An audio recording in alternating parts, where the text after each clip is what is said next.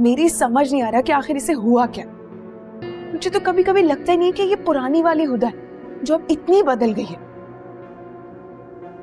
जिसको ना तो अपनी इज़्ज़त की परवाह और ना ही अपने बाप की। मैं अच्छी तरह जानती हूँ मेरे और आपकी खार में इसने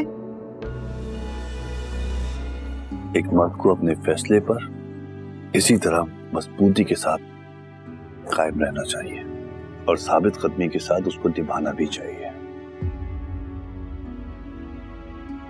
चाहे साबित कंपनी में मर्द खुद को तबाह भी करते।